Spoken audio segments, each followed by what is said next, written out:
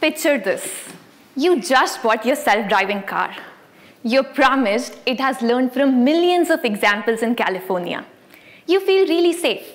Then you take a trip to Alaska. Now the roads are no longer dry and sunny, they're covered in snow.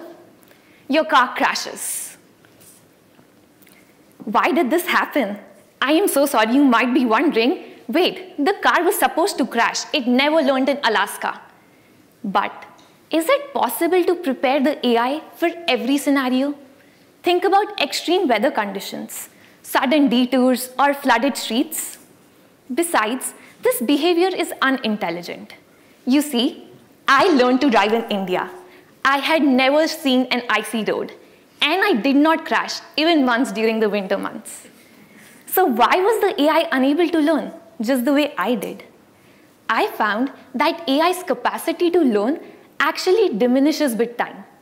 It holds on to information it sees much earlier, leaving no space for acquiring new behaviors. One state-of-the-art approach tries to solve this. It creates space in the AI's brain so that it can, it does this by erasing some of its knowledge. The graph shows us the difference. The blue line represents the problem. The AI is struggling to learn with time. The orange line represents the AI which periodically erases some of its knowledge. And yes, this helps it learn and perform better. But do you notice those sharp drops in performance? They happen every time we erase some knowledge, and they can be incredibly dangerous, even if for a brief second. Imagine erasing the knowledge responsible for detecting stop signs. So I propose a different approach. What if, instead of erasing knowledge, we compress it?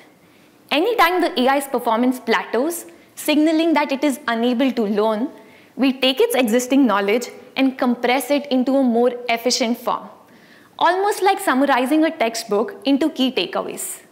This frees up space for new learning while preserving everything that the AI already learned. And yes, preventing those dangerous performance drops. The black line on the graph shows my expected performance curve. I also test this using a car in a simulated environment, and preliminary results look really promising. This has the potential to make AI truly reliable. So one day, when your car is driving you in Alaska, you will be safe because it won't forget about the stop signs just to learn how to drive on the icy roads. Thank you so much.